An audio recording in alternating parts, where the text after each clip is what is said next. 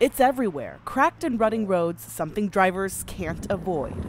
At UT Arlington, wheels are turning for civil engineering professor Dr. Sahadat Hossain. Uh, my background is sustainable waste management. He sees an opportunity to not only fix the roads, but also solve the problem of plastic in landfills. So you recycle the plastic. What do you do with them? From bags to cups, cartons to jugs, there are so many kinds of plastic, some recyclable, some not. We have done every different combination to make it work. Dr. Hossain's research team has figured out how to reuse wasted plastic in asphalt. Shred them in smaller sizes from 2 millimeters to 3 millimeters. They've developed the perfect mix.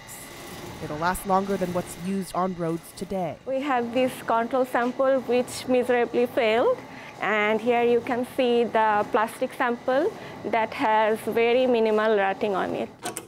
It also passes the skid test. Clearly you satisfy these criteria easily. And for strength, yeah, that fast. It exceeds expectations. We are ready. After 2,000 rounds of testing, Dr. Hossain is confident this will work on roads. This is the perfect example of sustainable engineering, reducing, reusing, and recycling. They've partnered with the Texas Department of Transportation in Dallas to soon sample it in the field. I'm positive this is before summer. UT Arlington is also a potential site for the study, but first, he'll be in Bangladesh at the end of April to implement the Plastic Roads project there and eventually in Ethiopia. This is a game changer to me for the pavement industry. Dr. Hossain and his team are paving the way to a more sustainable world.